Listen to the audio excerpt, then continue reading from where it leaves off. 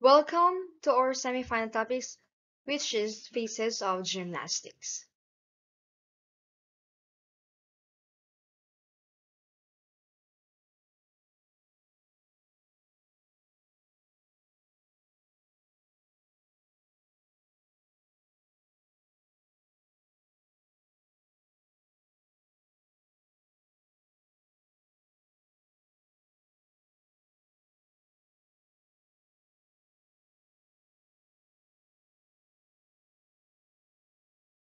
In the phases of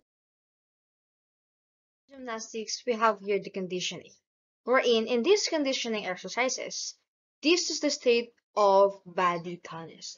When we say body tonus, it is the condition wherein we need to tone our body before doing the main exercises here in gymnastics or the main activity here in gymnastics. When we say conditioning, these are selected exercise purposely to condition the body before going to the proper routine or activity. In other words, we need first to condition our body before doing all the activities here in gymnastics. Why do we need to condition that? Enable for us not to get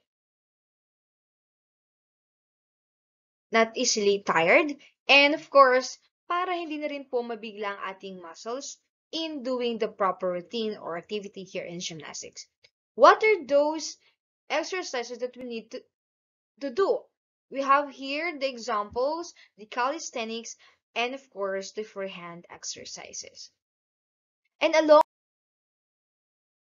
with our conditioning exercises, we have 10 body parts that we need to condition. First is we have the arms, which is also good for our extension of arms and shoulders. Next is we have the trunk twisting, this is also good for our waist. The leg raising. This is good for our balance eh, or pelvic region. Next is we have the trunk sideward bending.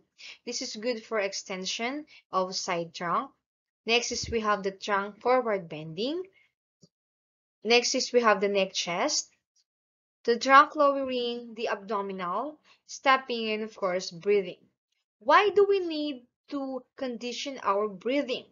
It is because para na rin hindi tayo hingalin pagka gagawin na natin yung actual main proper routine sa gymnastics.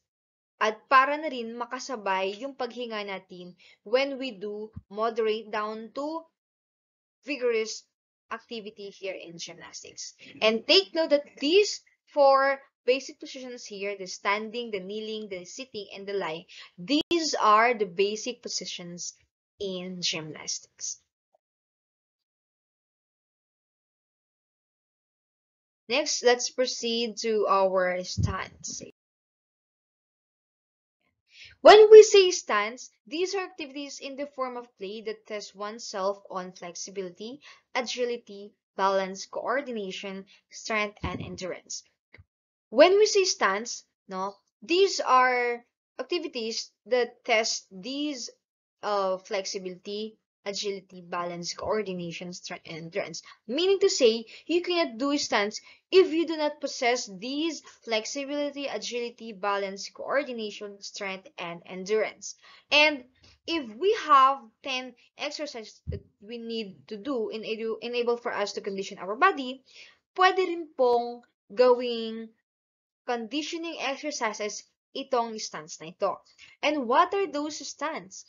We have here the four types of stance. We have the individual, wherein this is being performed by only one person.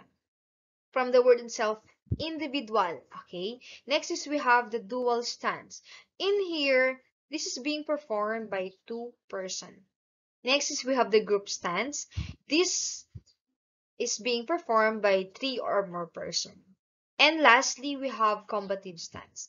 In this, these are stunts wherein it is being performed by two or more persons. Wherein, in this uh, case kasi, they are showing off their strength, their balance, their agility, and of course, endurance. When we say combative kasi, it is in a way of fighting. Pero hindi sila nagkakasakitan. Yung fighting dito, it means that they are showing off their strength, balance, agility, and endurance. Like for example, I have my own combative stance routine. And you, meron din kayo. Ngayon, uh, maglalabanan tayo by merely, no, showing off these, these skills that we have, no? So, yun po ang ibig sabihin ng combative stance. Next tayo. We, along with the individual stance, we have the Turk stand, the rocking chair, the prawn rocking, the ankle hold walk, the coffee grinder, the egg roll or top roll sideward, the log roll, the human ball, the, the, the a jump to full turn, and of course the dog walk. So these are the individual stunts that you need to do enable for you to execute all these movements. Next is we have the dual stance. Along with the dual stance, we only have four. The ring the disclet, the Chinese get up, the jump over, the seesaw, and of course the three partners one jump over. So in here, dito sa ring the disclet, it is similar to the Dr. Quack Quack movement. If you know that, then definitely you will know this movement. Next is we have the Chinese get up, the seesaw, the jump over, and of course, the three partners one jump over. Dito po sa jump over, this is similar to luksong baka. Okay? Yung isa magbe-bend and yung isa tatalon dun sa nakabend. Okay? And in these three partners one jump over, this is also similar to luksong tinik. But then, hindi po siya dangkal-dangkal, kundi yung dalawang nasa nakaupo is naka-join hands. Okay, let's assume that yung dalawang naka-join hands na nakaupo, iisa lang po yung bilang nun. At yung isang tatalon, pangalawang bilang. To make it dual. To make it dalawa. Okay, so these are the dual stance no, that we have here in this stance. Next is we have the group stance. We have the walking chair, the merry-go-round, and of course the skin the stick. So these are the group stance. Next. And of course, second is we have the tumbling skills. In the tumbling skills, it says here that it is a skill in gymnastics that requires sufficient strength of the arms, and flexibility of almost all parts of the body. Meaning to say, you cannot do the tumbling if you do not possess the sufficient strength of the of your arms and of course the flexibility of all parts of your body. Okay? So, don't you know that tumbling skill is considered as the most important phase of gymnastics? It is because this is where the ability of the performer is being tested, no? Kung paano siya mag-roll 2 and 4. Kung paano siya mag-twist. Kung paano siya mag-turn at mag-spring on the mat, on the floor, or sa air. On the other hand, no, uh, in tumbling skills kasi, if you lack the mastery of the fundamental standing skills, definitely expect for a poor performance. Okay, so in here, hindi lang po basta-basta ang tumbling skills. You need to master all the fundamental stance and skills para sa ganun, you are able to execute well all the movements here in gymnastics. Most especially here in tumbling. Okay? Noon, alam natin sa tumbling, okay, mag-tumbling ka lang. Tumbling lang. Iisa lang alam natin. But today, you will learn that meron palang basic skills ang tumbling. Maraming uri ang tumbling na meron tayo. What are those? Mamaya na yan, let's proceed first to our objectives. Sa, sa tumbling po, meron po yung objectives. First one is to improve. No? In doing tumbling daw, it helps us to improve more of our courage, our determination, perseverance, and initiative. Why is it that the courage, determination, perseverance, and initiative? Kasi, in tumbling, hindi po siya madali eh. This is one of the most difficult uh, phase or movement here in gymnastics. No, it really takes a lot of courage for you to start the movement, this movement, no, and for you to to know the movement, for you to to do it, you must first have the courage. Okay, kakayanin ko to. Gusto ko tong matutunan. Kaya kakayanin ko ano man yung hirap. Doon papasok yung determination. Kahit anong hirap, gusto kong gawin kasi gusto kong matuto. Gusto kong alam ko kung paano gawin. And that's the time when you are doing it, syempre, mahirap talaga sa una. And then you're struggling na, paano ba? Ano pa yung una kong gagawin? Ano ba una kong ilalapag? Paano ba itong pagrurol na ito?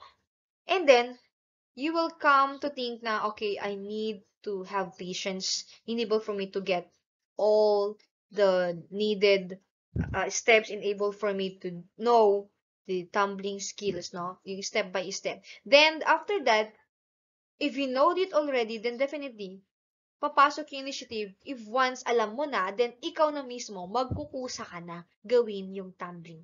Kasi alam mo sa sarili mo na alam mo na lahat ng steps and then therefore kaya mo na siyang gawin without the help of any of other people, no? And next is we have, sabi dito, in doing tumbling skills, you could actually develop more of better timing, speed, and agility. Tama nga naman, no? That in tumbling skills, hindi po pwedeng, sige, tumbling ka lang ng tumbling. No. Kailangan mo nang siya ng better timing. Hindi po pwedeng bilisan po natin kasi if bibilisan natin, may possibility na magkakaroon tayo ng muscle injury. No? Or makak makakakuha tayo ng injuries. And sa speed, okay, hindi po pwede pag ikaw, beginner ka sa tumbling, bibilisan mo na yung pagtatumbling para lang matapos mo yung gawin. No. Dapat, you need the uh, from low speed to medium hanggang sa pag, uh, pag-expert ka na, then pwedeng high speed na yan, no? And agility. And of course, for the last one, we have uh, in doing tumbling skills, it is also, uh, it, in, it instill better understanding among students as they work in pairs or as a group. Okay, so these are the objectives in tumbling skills that you need to know and possess. Yeah. Next is we have the basic tumbling skills. We have here the backward roll. Ayan, pakibasa na lang. Along with the backward, backward roll, meron din po tayong forward roll. At yung forward roll po na yan is, yan po yung alam po natin pagtatumbling. Paharap. Unang nilalapag yung ulo, and then the neck and the uh, back body. Okay? Next is we have the curtain wheel. Ayan. Pakibasa na lang. And next is we have the forward pike roll. As you can see here in the picture, ayan, ganyan po kung papaano gagawin yung forward pike roll. Anyway, I sent you my my videos, no? The compilation videos doon sa on how to do all of these. So, this is just a discussion. You, you may check my, you may check my video about all these movements, no? Here in YouTube. Next is we have the handstand. Yeah. So this is how you do the handstand. Makikita niyo naman tong movement ito dun sa pinasa kong video sa inyo. Or dito sa YouTube. You may check my videos here in YouTube and then you will see all the stance and tumbling skills compilations. And next is we have the pyramid building. For the last one, for the last phase of gymnastics, ayan, we have the pyramid building. In the pyramid building, this is the phase of the program wherein pictures, no, uh, which pictures the body in a static position. So this is also similar to cheer dancing. So cheer dancing, meron po tayong pyramids in cheer dancing. Same is true in the uh, gymnastics. Now we have the pyramid building. Why is it that it is called the pyramid building? It is because these are activities, no, that provide the use of many skills and abilities learned stance and of course in other forms of expenses. In here, um, sa paggawa natin ng pyramid, kailangan natin, hindi lang tayo, kundi kailangan natin ng kasama. Sa pyramid kasi is, di ba, ganyan, para siyang pataas. So, kailangan natin ng, just like this, ayan, as you can see, kailangan natin ng bases, Itong mga naka, naka-kneel dito, ang tawag dyan sa cheer dancing is the bases. Itong nakatayo, ang tawag dyan sa, sa cheer dance is flyer. At yung mga nakatayo sa likod, no, hindi, wala kasi dito, yung doon sa cheer dancing, no, yung mga nakatayo sa likod just to support the flyer, those are called spotters, no. Pero pag uh, sa gym, sa cheer dance, yun. But dito, gymnastics meron tayo. So dito, three-man pyramid po ang tawag dito. Wala po siyang bases, wala po siyang spotter. Ang sinasabi ko lang kanina, para po siyang same sa cheer dancing. Okay? Kaya siya sinabing three-man pyramid kasi nga, tatlong tao gumagawa or gagawin nila yung uh, shape ng pyramid. Or, sa pyramid kasi meron tayong lower and higher. Ganyan. So, yan siya. Next is we have the four-man pyramid. Okay? Uh, hindi man siya pyramid na yung shape niya, but then, apat na tao yung involved para gumawa ng pyramid. Not literally pyramid, pero yung gumawa ng uh, building na ito. Okay? They build building out of four people or four person. Okay? And next, for the last one, we have the six-man pyramid and the seven-man pyramid. So in here, as you can see, anim na tao. Okay. At seven na tao. Okay. They build a pyramid. Okay. Or a building out of six person and out of seven person. Okay, so these are the pyramids in or the pyramid building in gymnastics. So that would be all. I hope you learned something today. And don't forget to like, comment down below your names, share, and subscribe. Thank you for watching and mabuhay!